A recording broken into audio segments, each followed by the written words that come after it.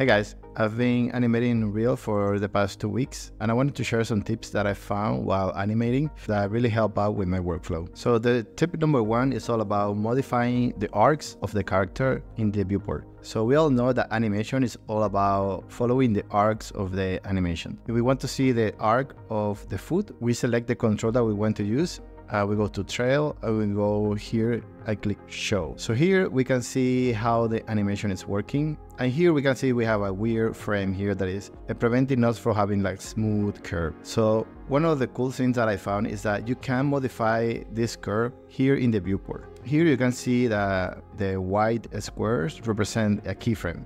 If you don't see that you go here and you select uh, show keyframes. What the cool thing is, is that if you right click on the keyframe, you can then, you have a, a gizmo that you can then pull down so you can smooth the curve. So you can see now the curve is smoother now. And we all know that animation following the arcs of the motion is really important. So this is a very helpful tip that I found. Another tip that I found is that you can modify the values of the keyframe with the middle mouse button. So let's say I want to modify the value of this keyframe. The cool thing, I don't need to be on top of the of the keyframe to move it. I can just, my mouse is over here, I can just press the middle mouse button and go up and down. And I can modify the keyframe with the middle mouse button. You're gonna also lock the values. Uh, for example, it, sometimes uh, if I have it on both, you can see that sometimes I go right or left accidentally and I move the, the timing of the keyframes. But you can lock axes that you want to work on. So for example, here, uh, I only want to work on the Y axis and no matter how left to right I go, the timing won't change. So this is a really cool one. If you need to mirror a pose because you're working on a, a run cycle or something, you can mirror the pose using the pose tool. Uh, for example, here you can select all the controls that you want to mirror. You go to pose and this window will pop up. You now you click here on create pose and you call it whatever. And here you can see that you save the pose, right? As you can see, I have a mirror option here. So you can select the pose that you want to mirror. You click on select controls. You click on key, so it will key whatever the selection you have here in the timeline. You go to mirror. You have to change the mirror settings to Z. For example, I had a problem with my rig and I had to put this on Z for it to work.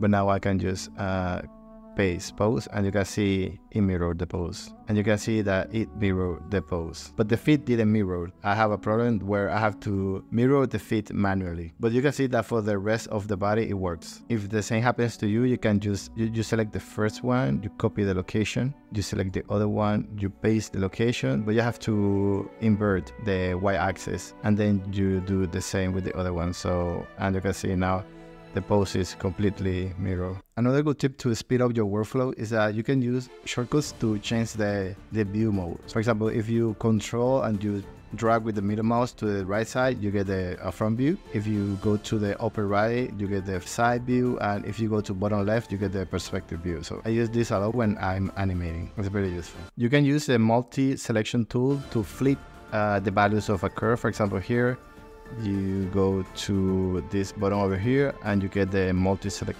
tool and then you go to the bottom right and you change the scale to minus one for example and you see that it will flip the curve. I end up using this a lot. Also learn the shortcut for the different handle types. For example, you can see this one here. If you press one, you will get this handle. You press two, three, four, five, and you can see they go from, from one to five. If you want to change the weight of a handle, you, you select the, the key that you want to change and then press Ctrl W and you will see that this will turn on and then you can just select one and change the, the weight uh, freely. If you press shift while you are dragging, you can see that it will snap horizontally. If you press F10, you will see that it will only show the curves that you are selected. For example, here you can see all the curve and this can be very messy to work with. So if I press F10 and then you select uh, whatever control you want to modify, you can see you get all the controls uh, here. You can also type uh, Y, for example, and you will see that you will have a, a filter by whatever Y is controlling. Uh, if you type X, you can see you will see the locomotion X, the, the roll, and the scale X. Same with Z. You can see look the Z uh, the rotation yaw and the scale Z. This, that is very helpful too. Take advantages of additive layers. For example, if I want to do a major change to the animation, let's say that he's leaning too much forward, so I can click here on the plus icon and go to additive. Here you have a, a, layer that you can edit the animation on top of. So for example, if I select this one and I go to the control that I want to modify and I go to, okay, let's, let's run like this. And then you go play and you can see the animation changes completely. And you can uh, have multiple uh, additive layers. For example, maybe I want to add another one for the tail. And let's say here I want the tail to be lower. And if I hit play, you can see that the tail is now very uh, low.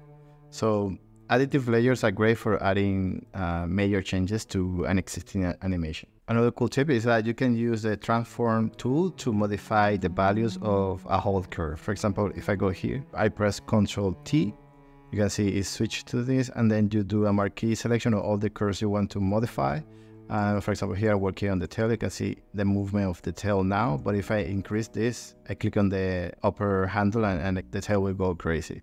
So this is a cool way to change the values of, of a curve. Another one is to make a level just for animating. You can see here I have this uh, very simple level where I have a floor, a, a wall to the back and a wall to the side. And you can easily see how this is very helpful because it will help you analyze how your animation is looking. You can see if uh, you have a grid and this is a very important one. You can have different shading modes in the side in the side view and the front view. You can just go here and just select unlit. If you want to see the model with uh, lighting, you can go here, but you will see that it will be dark. First of all, you have to disable the lighting component. You have to disable the shadow, uh, global illumination, and specular for it to look good.